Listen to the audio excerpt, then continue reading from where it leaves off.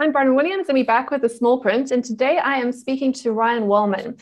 And he's one of my favorite people from Twitter. And he's a bit of an unusual guest on this show since we usually stick to politics, philosophy, and economics. But trust me, I think this conversation is one that we all need to hear and to have. Now, on this show, Ryan, we like to get our guests to introduce themselves the way they like to be introduced. So, would you do that for us? Um, sure. So, I'm Ryan. Uh, I'm creative director at uh, a healthcare creative agency here in Melbourne. Um, I've been there for about 14 years um, in various different guises. Um, so essentially, yeah, I'm a creative director, but essentially a copywriter at heart, and I come from a, a, a medical background, so hence the healthcare angle. Um, yeah, and I definitely know nothing about any of those topics that you just mentioned. So I'm definitely going to be a different Fantastic. guest. yeah, just a little bit. But before you got into advertising, you actually worked in the healthcare profession, right? Yeah. So I trained in medicine and I worked as a doctor for about seven years, um, uh, predominantly in psychiatry. And then, you know, for various reasons, got out of that and, yeah, changed career and figured that I mean, I wanted to be a writer, but I, I, kind of figured that the easiest way to do that would be to try and bridge into, you know, into medical writing, um, which is what I did. And yeah, it's kind of gone from there. The sort of writing that you get paid for, right? I mean, this is, this is generally the plan. But that's that's yeah, quite exactly. the that's quite the origin story. Uh, like it's not that's it's it usually goes the other way around, right? So you like you do something else and then go do a sensible career in like medicine, law, or accounting, and you've had kind of the opposite trajectory, which I think is absolutely remarkable and and definitely something I'm fully happy to to lean in behind. Uh, you enjoy what you're doing at the moment? Yeah, very much so. Yeah, and and yeah, the career change was uh, the best thing that I ever did, really. So yeah.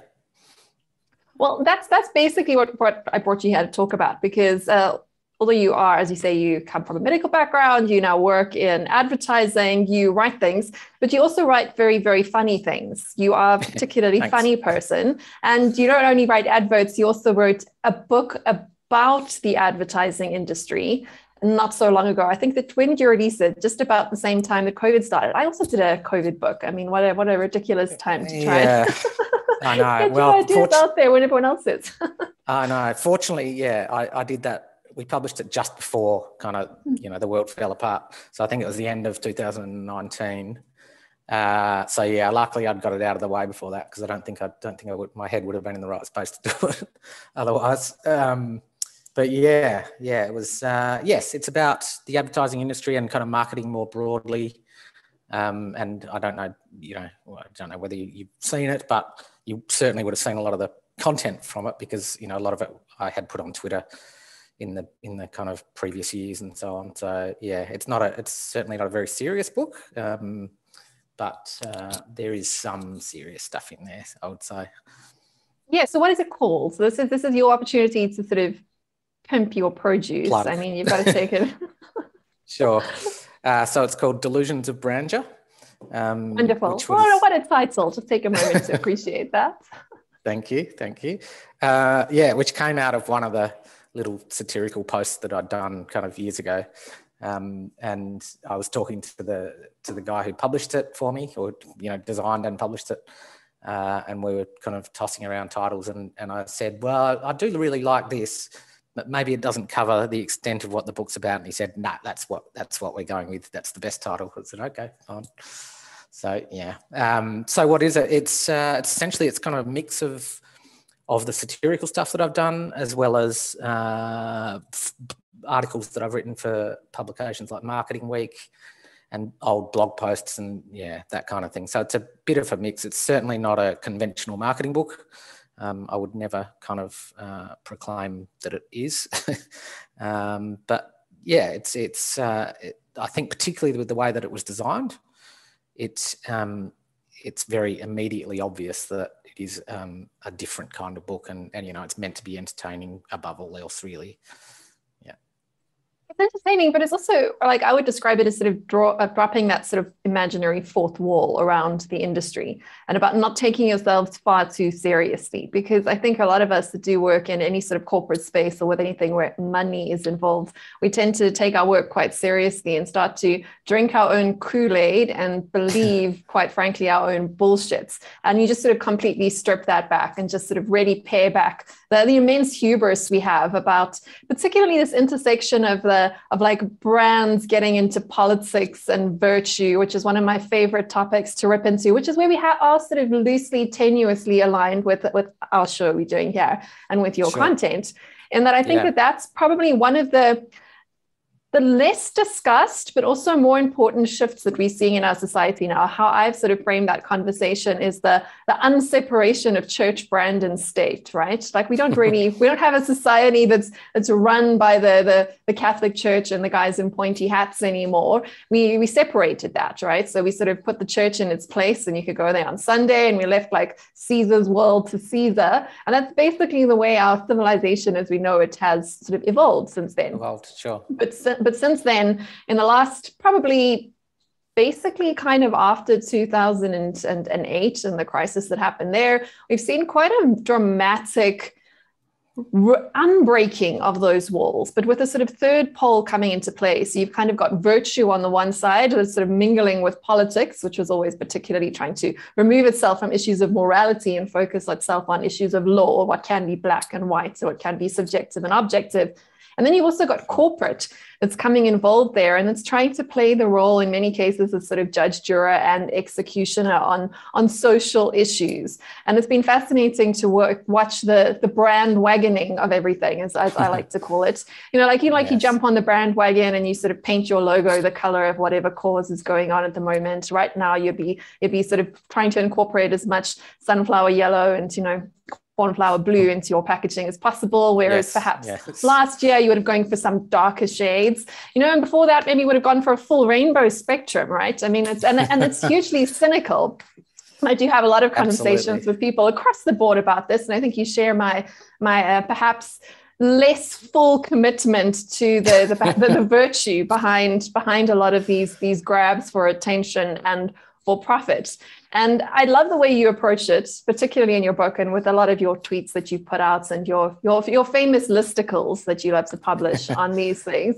Fully appreciate your point of view because I think you do see behind that curtain, and I, I, and you've seen the funny side of it. I also tend to see the dangerous side of it when you when you get brands that are trying to take positions on issues of morality, which are by nature messy and imperfect, because there's when it comes to issues of values and morals, there's not clear black and white lines. It's much more nuanced than that. And when you see brands sort of tying their colors to the mast, it can be quite funny, but also it can be quite dangerous for people. Like right now, if you're in Russia, you you, you can't access your own bank account or use your own sure. bank card, right? Because of sure. decisions politicians made that you had nothing to do with. You know, and that's a brand choosing, a brand choosing to get involved in that conversation. I want to unpack that a bit with you, but and we can perhaps start with the easier questions, which are like, does it work when it comes to to brands doing these things? Well, does it work not just in the short term, but in the long term, because even things like printing record amounts of US dollars during COVID does work in the short term, but you know, a couple of years later, we now all have to eat much more expensive cake, and you know, we can't afford to drive our cars around anymore. You know, mm. causes have effects, and actions have consequences. That'd be my first question for you: Does this work? Does the politic- politicization of brands getting involved with popular, you know, causes and the color revolution that's going all around us, does it work? Mm. Mm. I think your color analogy is uh, is a very good one. Uh, but yeah, I suppose the, the answer to that, uh, in, in, the short answer to that is again, as you say, it's nuanced. So as much as brands try to make it black and white, it is actually a nuanced answer to that. Sometimes it can work, and I guess it, it also depends on how you define, you know, working. And if you're talking about the effectiveness of it for the brand, then yes, it can work. I think whether it actually works in a broader sense and, and you know whether it is for the greater good, I think is much less clear in a lot of cases. But I certainly share your skepticism, shall we say? I mean, I'm probably more more leaning towards cynicism um, about these things. I, I think you're exactly right that there is humour in it. Um, but there is also a darker side to it, and and and both the darker side in terms of what it says about those brands, and I and I think you know in, in particular the fact that brands use it as a kind of purpose washing exercise. You know, it, it, you only basically you only have to scratch the surface of a lot of those causes that brands stand up for, and and discover that you know they have very dark other causes that uh, they have glossed over, and, and the purpose of, of a lot of those um, you know campaigns and so on is to is to detract from that from that stuff. Uh, and so you know I I use humor I think in some ways to to so that I don't have to confront those those darker sides of things head on because people get very angry about it when you when you do and you know sometimes even with my humorous stuff people get angry with me because they think that I'm being cynical and you know you just they're trying to do good. Why why do you have to attack them for it and all that kind of thing? Um, probably the best person that I've seen writing about this is a guy called Steve Harrison. I don't know if you um, have followed any of his stuff, but he wrote a book called um, "Can't Sell, Won't Sell," uh, which was published uh, last year, I think, or the year before, um, which is just a fantastic kind of uh, expose of of this kind of stuff and and very um, scathing in some cases uh, about why brands are doing this and how effective it is. And so I can't talk to him in, in, to, in any way uh, as expertly as he does. So I would certainly recommend that one to you and, and to any of your listeners who are interested in, the, in this kind of thing. Yeah, Steve's fantastic you could just lean right into the comedy angle and go watch the Bo Burnham comedy special that he wrote during COVID lockdown. right? Ah. I mean, he had a marvelous song about joining wheat thins on the sort of in the in the fights against Lyme disease and how we don't sort of sell products anymore. We try to wrap them in a cause. So the product almost becomes secondary to whatever the the message, the marketing or marketing department or advertising agent is sort of trying to package around this completely yeah. cynical consumer good. Yes, it's fantastic that that song that he did. Yeah, it's amazing. Uh, and there are a couple of other really good um, videos and things that, that have done been done recently, but not even people in the marketing industry have obviously seen straight through this stuff. Um, you know, I can I can give you some links and, and things to those, but yeah, I think uh, I think that's the thing. You know, consumers and the general public have cottoned onto this as well. It's not just those of us, you know, that are in the industry and and are, and are questioning it. Yeah, but that is an interesting point to pick up on because it's a bit of a recursive loop that goes on there. What we see quite quickly is that when you have these sort of contentious moral issues that are happening in society, it's quite it's quite quick that we try and sort of say this is these are the good guys, this is team hashtag good, and this is team hashtag bad, and you know you got to like pick a side very very quickly. But a lot of those opinions are informed by marketing and media, which I think are very closely related on the one hand, and then adopted by consumers and then sort of fed back to them via sort of surveys that become a become a very sort of self-perpetuating loop. Because we know this. I mean, I, I used to work in marketing before I did whatever I'm doing now, right. my general court gesturing that I do in this sort of futures economics. I wondered, what, I wondered how you knew so much about marketing, but yeah, there you go. Yeah, and like you know, surveys you don't take them seriously at all because you know you read these surveys that like you know 98% of Generation Z will purchase more cornflakes from a cornflake company yeah. that attaches itself to cause X Y Z. Uh, yep. And then it then gets baked into marketing strategy and fed back to the consumer. And the consumer now is trained to think that when they are presented with those surveys, this is they they should say they will do that. But of course, yeah. Yeah. people are sort of forced into into saying things they don't actually do. I mean, that's not to say they actually are going to stop buying cornflake brands that don't, you know, commit to the, the cause du jour.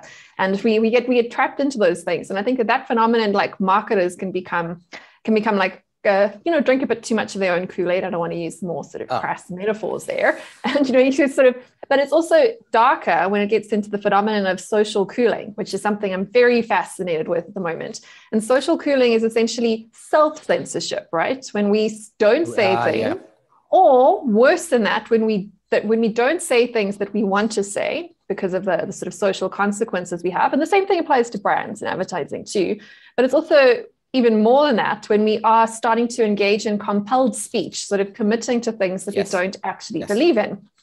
And yep. of course, that's that's a sort of dangerous place to be in, but it's also quite ironic in that everybody is kind of pretending to believe in the same thing that nobody actually believes in but no one can can break the illusion or get out of the loop because everyone's afraid that everyone else actually does believe the story that's yes. being sold. Yes. And I think yes. branding is a great way to sort of have that conversation in a slightly more comfortable way because when you start to actually yeah. put real issues into that pot, you you're setting yourself up to to do exactly what I've been saying and people are trying to yeah. avoid. Yeah, and, and I think that whole, um, you know, it's interesting that you say that there's that other side to the to social cooling of, you know, being compelled to talk about certain issues, and I, and I think brands very much fall into that trap, and and almost and get forced into that trap as well. You know, you will see quite often. You know, you would have seen tweets where people will say, "Oh, why hasn't brand X had anything to say out. about Ukraine or whatever, you know, whatever it is that that they feel that they should have said. And you know, you can't win really unless you unless you kind of fall into line, and it's and it, it is a dangerous um, place to be, I think.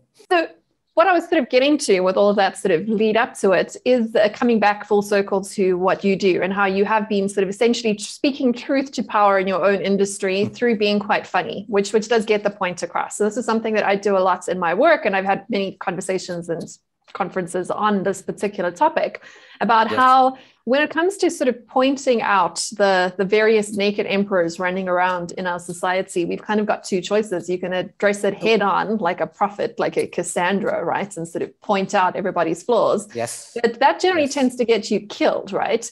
Or you can take the role rather rather than like you know like speaking the truth and getting stoned or getting socrates you know like that that sort of thing. You can decide to adopt the veil of humor. And humor gets you into much closer proximity with with places of power and in a much less threatening way to both yourself and your target market.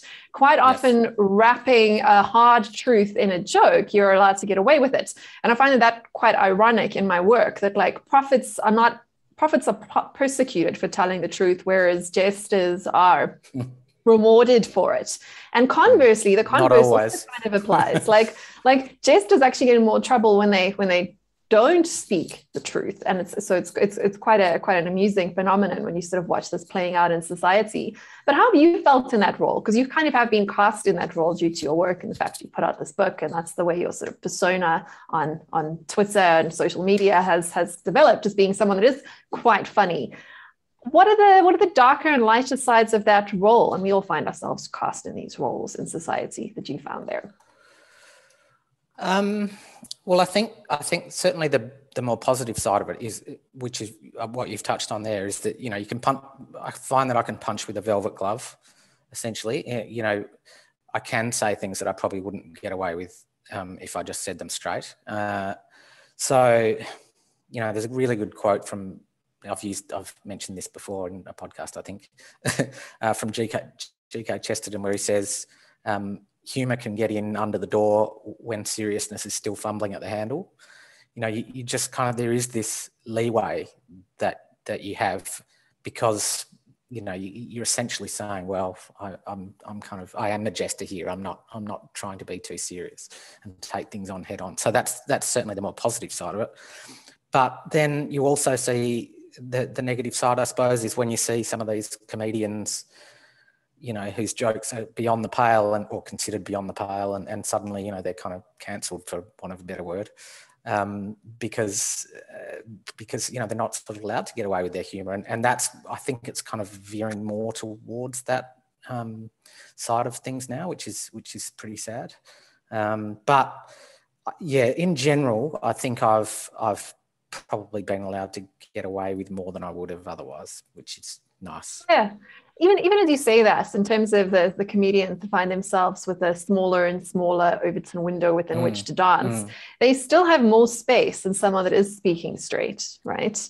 You've got a little bit yes. more time, and that's like I think a metaphor I've used with you in the past. Like your your job is to kind of jam a heel into that Overton window and like just keep it keep it a little bit more open. Like that's if that if you do that, you've already kind of succeeded in in, in doing mm. something that someone else mm. didn't just by holding the space, even if we can't hope to sort of push that out further.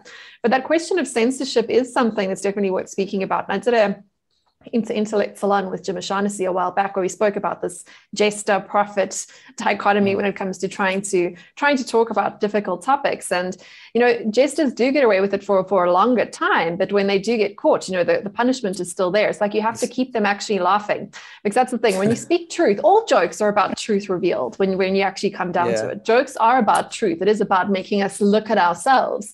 But when they stop laughing, that's when you're in trouble, right? You're you have to trouble. keep them exactly. laughing.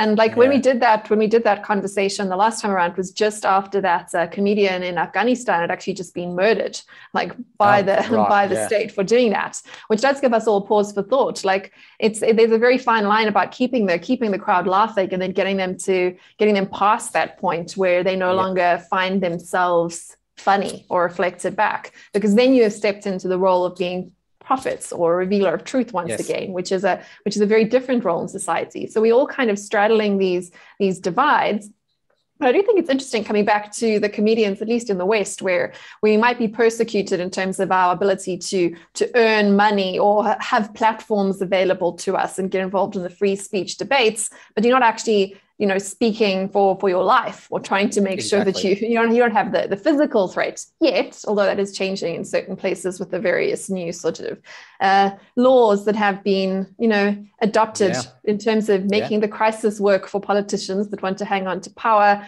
we've got at the moment a, a very new hate speech bill that's come through in south africa that was actually yep. signed into law the same week that the ukraine war broke out so under a lot of noise a lot of these these sort of these sort of the, the constraints are coming in around us. And the problem with these sorts of bills is that they are once again subjective rather than objective, which is something I'm coming back to again here. And the questions, because they relate to questions of morality rather than questions of legality. So, you know, I call them skeleton yeah. key laws because they're laws based on offense rather than laws based on offenses, which is a subtlety, but yes. a quite important yes. thing. And offense, offenses can be defined, you know, like stabbing you with a knife is a definable offense, whereas hurting your feelings is entirely subjective and completely in the eye of the beholder. So there's a whole lot of discretionary content that comes with that. I think that's where the the slippery slopes sort of conversations become become more yeah. and more interesting because the rules of engagement are no longer defined. And i think that they're no longer defined because of that unseparation that i was speaking about earlier of church brand and state. Whereas before you know state was about black and white. It was about rule of law. It was about objective, this is what you can and cannot do. And whereas church was about issues of morality, which is more voluntary and very subjective and should be dealt with on a personal basis, and business or brand was supposed to be somewhere as a different pole in that point. Business has a different levers. They don't have the law on their hand, but you do have the rights to reserve trade, you know, for example, yes. or to choose who yeah. you hire and who you work with. Yeah and it's yeah. more and of a, a speaking from. in terms of action yeah but yeah. when we try and conflate those ideas everybody's power in that those places becomes diminished on the one hand but yes. on the other hand everybody's space to move becomes that much less yes indeed yeah um, yeah and I, you know touching on that on that uh, hate speech idea. I think you know just recently in the UK, I think those those laws have changed as well. They're in the process. Where, I don't think they've fully come through yet, but they have very right, similar yeah, bill at what yeah, we've just had. Yeah, yeah. So you'd know more than I would about it. Um, but certainly, you know, it's it, uh, as you say, it's a slippery slope where violence is being come to as is starting to become defined as as something well, well beyond physical violence you know, it's, it's kind of, we're talking about psychological violence essentially, which, or moral violence, as you say. Um, unfalsifiable. That, like you can't you can't disprove that somebody has been hurt by offended or yeah yeah exactly yeah. So yes, it's a very tricky, nuanced situation, and and I agree that the constraints are getting greater and greater, and you know the the freedoms are becoming less. So uh, you know this is where it starts to get pretty serious rather than you know just being the jester. Yeah, it does. And coming back to the brand question again, I think that probably one of the most concerning trends for me is not necessarily being government powers increasing because government is government and power begets power and power rolls up unless you pull it down. And like we can't expect as we can't expect the, the scorpion to act against its nature, right? So you have to yes, understand yes. this. Our role as the private sector, as brands, as business, and as individual citizens is to resist. That is our role to to pay our taxes and no more, right? To use all the loopholes available to us. That is our sort of basic and, and to work around the constraints of the law, but not to allow the, the law to continue to to grow and to reduce yes. the common space that we have to work in. Mm. That's what it should be in a healthy society. You should have a dynamic tension. I think where it gets really concerning is when you start to see big business jumping into bed with Big Brother as opposed to holding that space, right? And when we see yes. brands stepping into the political realm, in very serious issues like engaging in things like sanctions like in russia now you can't mm-hmm. use your own bank card i mean that's mm-hmm. that's a pretty pretty large stick that has been driven by brand sentiment and a lot largely through through perception, right? But it's a voluntary sort of getting yourself involved in the ring and in the realm of a space where there already is a lot of power in place, right? Yes. And yes. I don't I don't know how you you see that playing out with your clients at the moment. Are clients and brands moving into this role of actually becoming sort of policemen or becoming terrier for the government and actually working with the government out of a sense of duty and purpose, or are they doing it because they kind of feel they kind of have to. Is it is it a voluntary jumping into the ring, or is it more of a, a sense of coming back to that social cooling phenomenon, that sort of compelled speech issue? Yes. Is that's what's driving? What what are your what is your sense there? Well, I, speaking of our own clients, it, it, we don't really see very much of this. Um, you know, in the healthcare space, it's it's we are quite removed from from that politicization, I think, in many ways. Money speaks um, loud. pardon?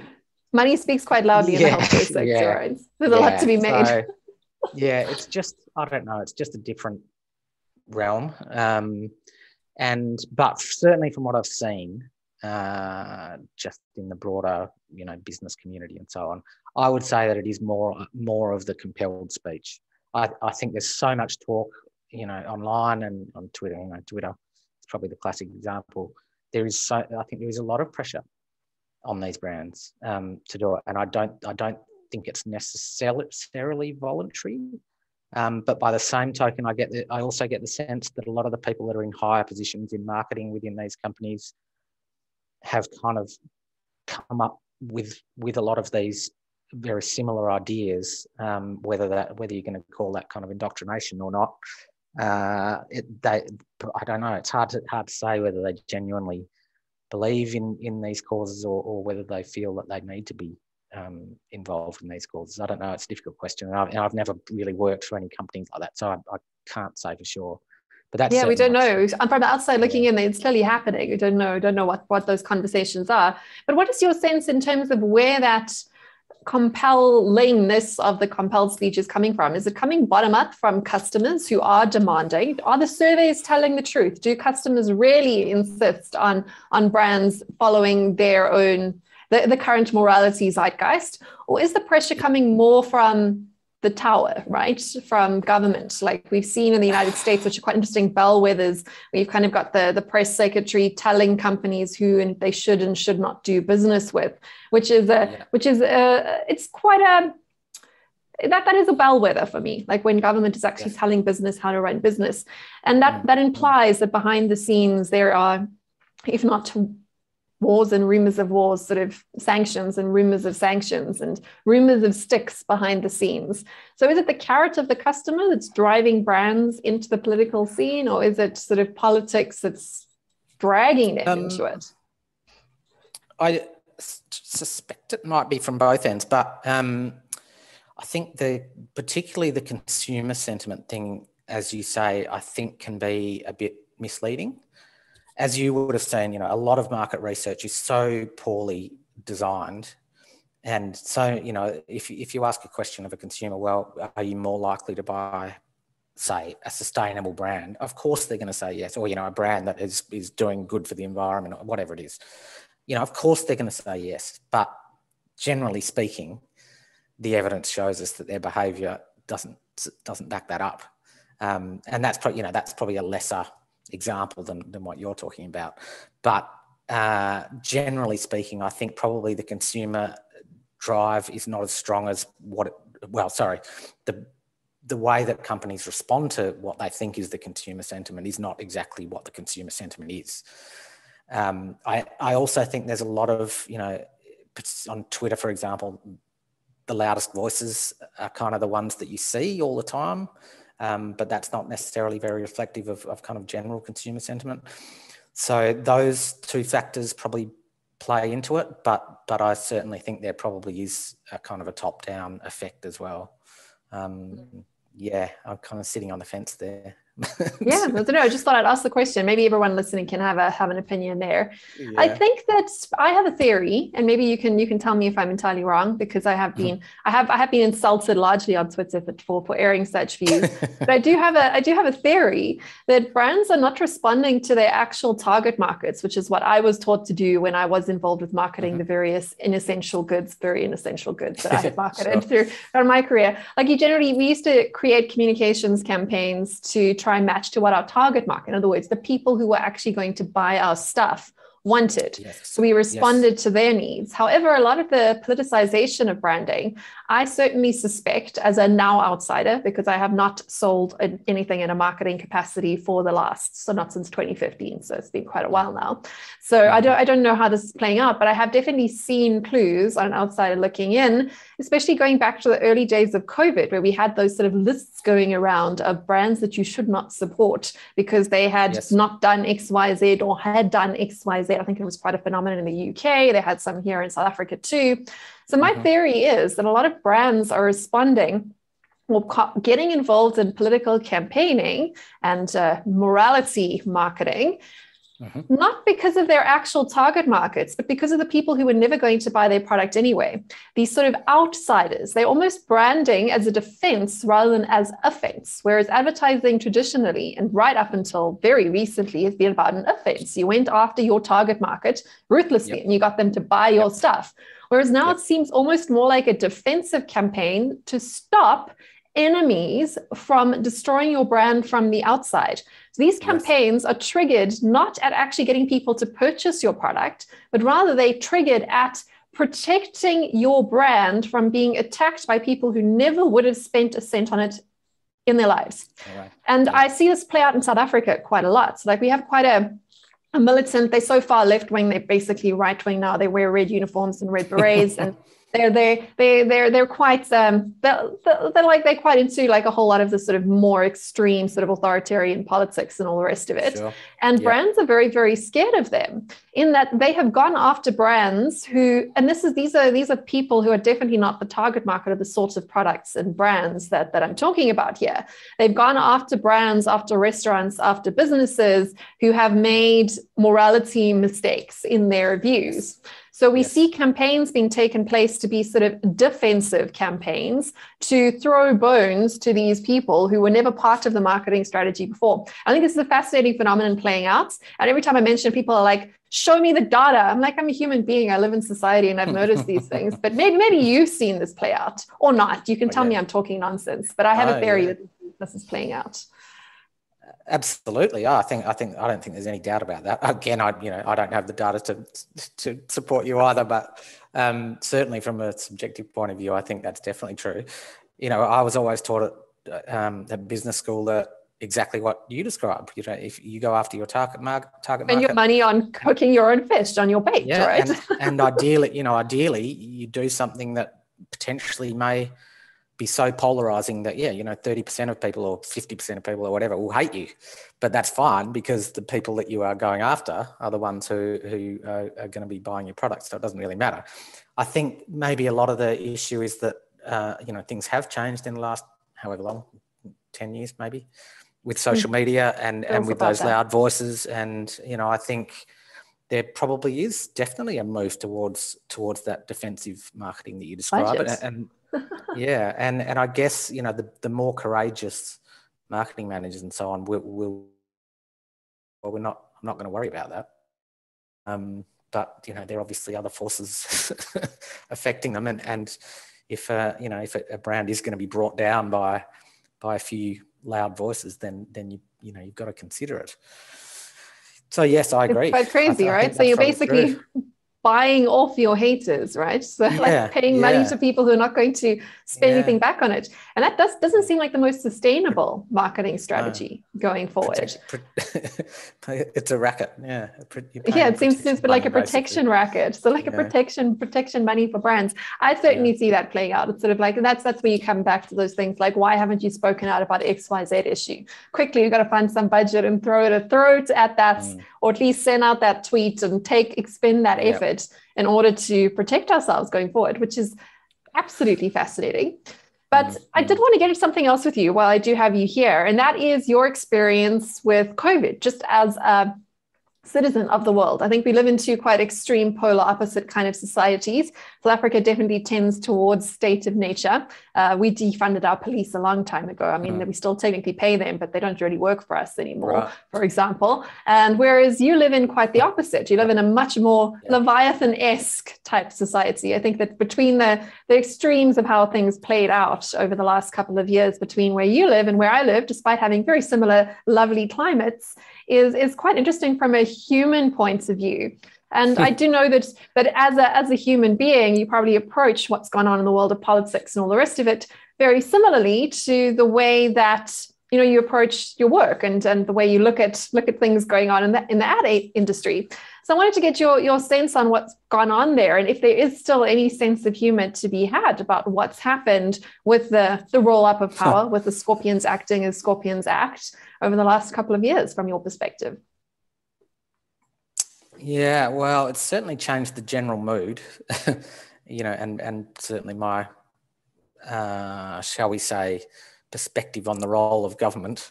Um, you know, I, I, don't know how much you know about the particular situation here in, in Victoria and Melbourne, where I am, um, but we sort of had a, a particularly severe lockdown, uh, well, in 2020 and, and then again last year, really. Uh, and I didn't think that the, the powers of government would ever extend to, to what they did. Uh, so that was a bit of an eye opener. Um, it, I think we had a pretty different experience here to, to other from other parts of Australia. Uh, so it tended to, you know, it's it sort of the other thing was that it really fragmented the federation in Australia, where um, people's approach to to government and uh, and their perspective on kind of the Australian Federation really changed and I and I uh, I think maybe it's kind of changed forever in some ways. I don't know that maybe that's we'll look back in five years and think that it didn't change that much, but I I get the sense that it's really um, it's a long term issue rather than a short term one. Um, it's I, I, think certainly the, in marketing uh, and in our work even. Um, the way that it changed our, our perspective was that everything had to be serious. You know, you can't you kind of almost couldn't do anything in a light-hearted way for a while because you, you almost had to acknowledge the fact that the, you know the world has changed and you know the now more than ever thing and you know all that stuff which which I kind of took the piss out of for a while and then kind of lost uh, the enthusiasm for. Um, but yeah, I think it did kind of change the way that people approached marketing and and the way that they uh, yeah particularly thought about government and and how business interacts with government and so on. Yeah, it, it was a it's been a strange couple of years, put it that way. How have you managed to keep your sense of humour through throughout it all? I didn't for a while, but, but uh, I think probably by taking looking at some of those things, uh, I I just had to you know, so the you know you saw all the cliches about the COVID ads and that kind of thing, and and so I did manage to to make light of some of those things. Um, but yeah, it's been tough. It's been you know it really has been a tough time here. Yeah, it has been tough, but I, I definitely think that for, for myself, and I speak for myself, and maybe other people agree, that by looking looking for the ironies and for looking at for the humorous ways to point out some of the, the excesses of power that have taken place, definitely see, feels like you can push push the lever a little bit further in terms of in terms of opening up holding space to have conversations that are not sort of drilled down into very party pack type politics.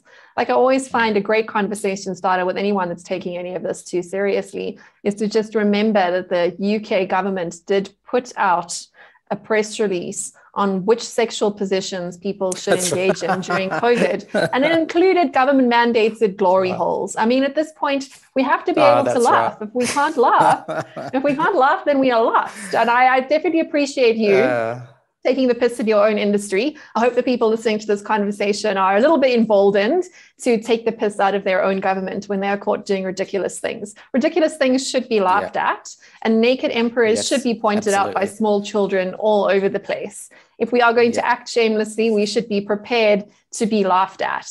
I think the laughter can take us take us a lot further and at least create a bit of common ground and hold a little bit of space to have at least some conversations and to not take ourselves so yeah. seriously. Yeah. Yeah, and I'd forgotten about that. I'd forgotten about that advice. That's hilarious. Um, but certainly, I agree. You know, I think uh, the marketing industry has become so earnest. Uh, you know, and there's so much bullshit, really. To you know, um, it's the only way to describe it. Uh, that that yeah, you're right. You have to laugh at it. It's it's it's become ridiculously uh, self conscious in some ways. Yeah, it's just so earnest. And you, you know, you look back a lot of the advertising, for example, from you know from the 50s through to the I don't know 80s, but, and so much of it had humor at its core. And there's so little of that now. I mean, you know, you still see it, of course, but but it's it's just not there in the same. Doesn't have that same essence, I think. Um, and so that's why that's why I almost have to do it as a bit of a meta now you know I have to look at it from above rather than kind of inserting it into my work in some ways. Mm. Yeah, but but we have to we have to be able to laugh at people who are being ridiculous. We also have to be able to laugh at ourselves and not take ourselves so seriously. I think that's definitely that's the yeah. other thing because we are engaged in the in the world of business in in making money, and if we are engaged in politics, we're in the business of holding on to power, and we shouldn't be we shouldn't we should be called out on that when we try and pretend that we're doing these things for for other doing reasons. Something else. Yeah, when it comes exactly. to when it comes to issues of money and power, I'm a great believer in that. Most of this is this is all it's all about amorality. People get away with what they can get away with, and they take what they can get. Right, the strong take what they can, the weak suffer what they must. It's it's it, that borders on the cynical, but I think that's just realism. Yeah. I think that people yeah. respond to incentives and they will also respond to to temptations and to loopholes yeah. and they will be exploited and uh, that's that's a lot of what we're seeing here but unfortunately those sort of taking the easy wins and going for the for the cheap causes that get the quick likes and you know defend us against the the angry mobs there there are prices to be paid for that there are prices to be paid in terms of longer term sustainability whether it's of your brand or your or your country Business, or even just yeah, your own yeah. personal credibility so i think that mm. Mm. The, the reason that I got you here was to sort of drive those two points home about the importance of speaking your truth, but also being able to laugh about it. Yes. Yeah. Yeah. Well, I think well, to get back to uh, one of the points you made there about, you know, what is the purpose really of, of marketing? And Mark Ritson has spoken about this quite a lot. You know, essentially he says, well, you know, the purpose, you know, my my purpose is to make a shitload of money for companies. That's what I am there for. And you can try and dress that up as much as you want, but if if you really if that's not you know essentially what you're doing, then you should be in a different industry.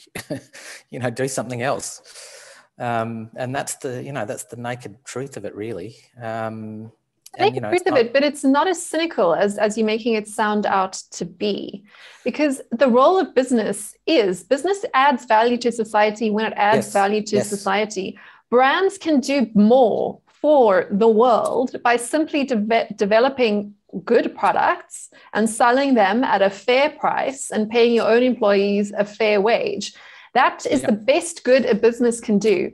By charging extra on your product, on your whatever chocolate bar or unnecessary consumer good or high heeled shoes that you are selling, in order to take some of that money and deploy it to the cause du jour that is closest to the, the public relations department's heart, you're actually lessening your overall value to society because businesses are good yes. at making products and adding value yes. to your consumers by giving them shoes that make them feel sexy when they put them on. That's it. You've added value to society when you start to play around and actually have the hubris to think that your CEO and your marketing department knows more to do with, with the extra money that they're retaining for, for brand related causes than your customers could do with that money for themselves, or that your employees could do with that cash if you gave them a raise, I think that that is absolute hubris. And that's another thing that people, that, that a lot of very serious marketers who take themselves very seriously, them and their CSI departments far too seriously, get very angry about when I point it out. I'm like, I'm pretty sure yep. that allowing everybody else, that taking a smaller margin and not engaging in vanity projects like painting schools, like brands love to paint schools, right? But children don't need painted schools as much as they might actually need food. And if maybe you didn't yeah. take quite as much cash and actually focused on increasing the value of your own product, there'd be more money flowing around the world, as good old Say's yeah. Laws says. So yeah, I'm yeah. quite keen on getting a bit more re-separation of church, brand, and state. Yes. And I think that stakeholder capitalism is probably one of the most disastrous ideas that's going to suck incredible amounts of value out of the hands of people who need it towards people who don't need it, quite frankly. Yes. Yes. Whatever, whatever lies that, you tell yourself to feel good about yourself. Exactly, exactly. I think hubris is the perfect word for it, and I think that also is a beautiful link back to to that book that I described earlier by Steve Harrison. You know, he he talks about all of this stuff. Um, you know, he's an old, uh, well, you know, he's been in the industry forever. Um, yeah, and he makes that exact point. You're taking money out of the pockets of your workers and your suppliers and all those all those things which do you think you can these, do better with it? Exactly exactly. It is it is hubris. You're right. You're exactly right. Yeah. And of course the choose the, the causes you choose are not the ones that the rationalists would pick the really small or really big ones. They're they're the causes that will get you the most column inches on your press campaign right? Like yeah. we know this. Yeah, the exactly. brand directed charity and stakeholder budgets seldom deploy capital towards the most if ever yeah. towards uh, I think better better issues. Yeah, and I think the other side of that is that the industry media is very much complicit in this as well. Um, and Steve also talks about this. Sorry, I, am I'm, I'm sounding like a, a fanboy here, but but it's true. You know, I, I, think some of the industry media are, are, shameless in the way that they also will will pretty much just parrot whatever whatever the you know these uh, senior marketers say, and yeah, it's a it's a bit of a worry. Yeah, no, there's nothing there's nothing virtuous about uh, taking a taking a tax break or or you know applying B corporation pr- practices to your business if you're doing it in order to increase your own your own profitability exactly. or brand awareness anyway. Yeah. It's like claiming yeah. claiming a tax break on child charitable donations. That doesn't make yeah. you a hero. That makes you a capitalist and lean into yeah, that. It's not a like if you're gonna you're gonna be a brand that's making making unnecessary consumer goods, lean into that and make the best consumer goods you possibly can for the best price. Yeah, make yeah. to delight your customers and you know keep your keep your suppliers businesses propped up and you know what you're actually doing quite a lot of good in the world keeping the money flowing around because that's that's what business does it keeps things circulating focus on that rather than on electing politicians and and yeah. telling us what what to believe in and what not. Yeah, and what's the what's the quote?